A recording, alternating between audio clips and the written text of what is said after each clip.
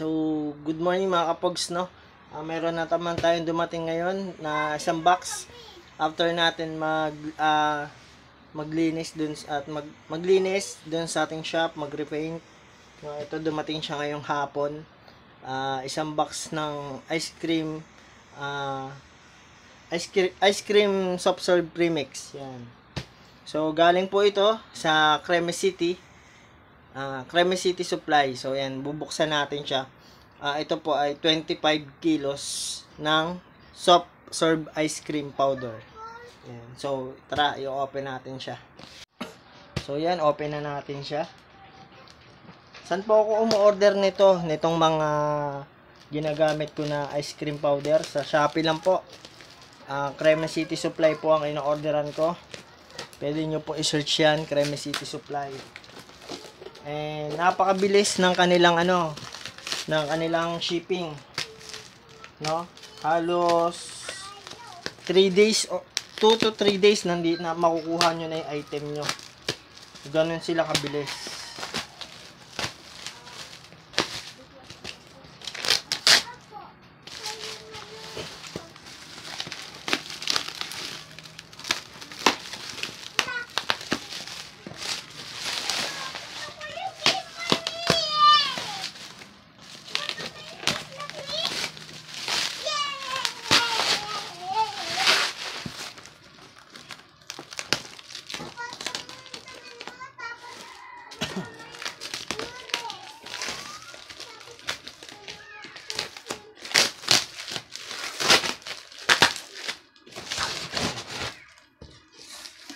So yan guys, mga kapogs no.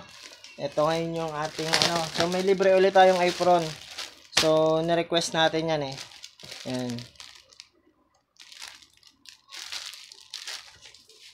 Then yun, lalabas natin itong mga ating mga ah, premix.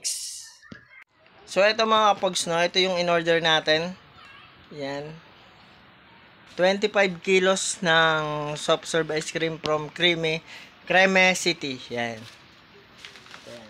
So, ang isa po nito ay worth ah 195 na nabibili natin through Shopee. Yan, pwede nyo i-search yan. So, yan. So, ito, itong, itong vanilla, puro vanilla po yan. Ang vanilla natin, baka doon na natin gamitin yan sa kabilang shop. Yan, ito. Then, thank you pala. Salamat ulit sa apron. So, sabi nila, pagka worth 3,000 plus yung order nyo sa kanila, automatic meron na kayong ganito. So, edi ibig sabihin, ah makakarami kami ng ganito. Yan. So, yun lamang po. So, thank you sa Creme City. Yan.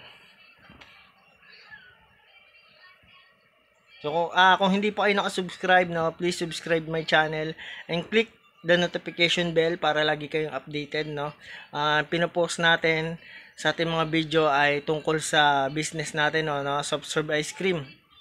And ah, itong channel ko pong ito ay personal vlog, no, personal na tungkol sa business, sa buhay, yan, mga kinakapture nating moment, no. So yun. And salamat, maraming salamat.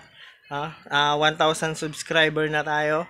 Thank you, thank you very much sa lahat ng mga nag-subscribe at nanonood ng ating mga video, no. Yun. Thank you sa inyong lahat and salamat. God bless. Peace out.